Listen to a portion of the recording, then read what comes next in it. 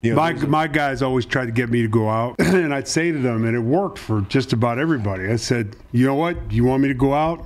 Call my wife." Mm-hmm. One guy in 13 years said to me, "Give me the number." who was it? Tim Brown. oh, Tim Brown. Tim Brown called Diane, and she said, "Do you believe that bullshit?"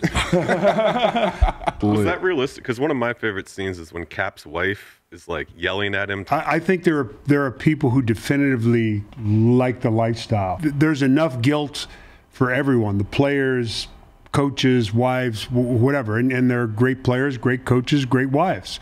It's it's just a question of you know how what your perspective is. And then there's some Godzillas, some wives that everybody on the team knows. And uh, if your wife goes anywhere near that chick, like maybe you should make some shit up about her because, like, I don't want my wife being friends with the Godzilla wife.